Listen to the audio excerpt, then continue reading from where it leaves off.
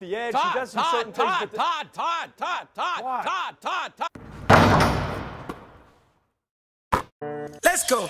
One of the two is your number one. Who does Houston take?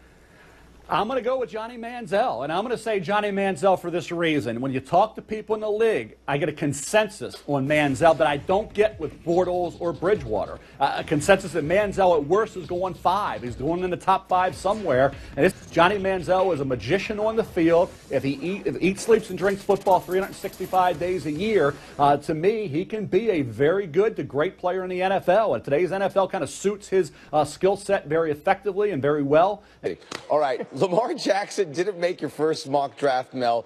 If he doesn't get it in, get it done as a quarterback, moves to wide receiver, but he's got to be all in on the wide receiver transition. If he's not, then that may alter how you feel about taking him in the I, second I've round. never spent any time. Oh, all of us guilty, guilty. Made a lot of fun about the Seattle Seahawks. Sherman, the former wide receiver turned corner, just an average fifth round pick. Sherman, the former wide receiver turned corner, just an average fifth round pick in my opinion. Sherman, the former wide receiver turned corner, just an average fifth round pick in my opinion. Uh, Mel to the quarterbacks now. Blaine Gabbert, number eight.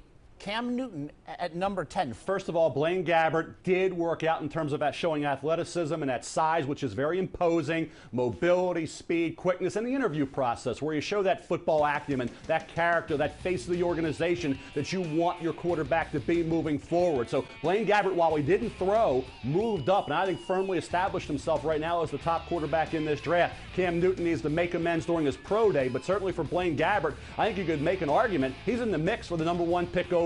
Mel, I- I'm not sure Mitch Trubisky could could throw that game against uh, Alabama. I'm not sure DeShone Kizer could as well. Feels like a tough judgment on Deshaun Watson. Why isn't he ahead of those guys? Well, I think the preciseness and the accuracy throwing the football, and we don't know how tall he is. Is he 6'2 legit? Is he 6'1 and change? We'll see at the combine. You don't have measurables, accurate measurables, until the combine for underclassmen. But right now, I have a second round grade on Deshaun Watson.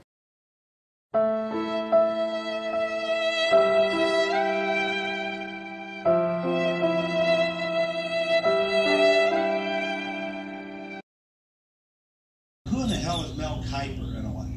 I mean, here's a guy that criticizes everybody, whoever they take. He's got the answers to uh, who you should take and who you shouldn't take. We don't have to take anybody that Mel Kiper says we have to take.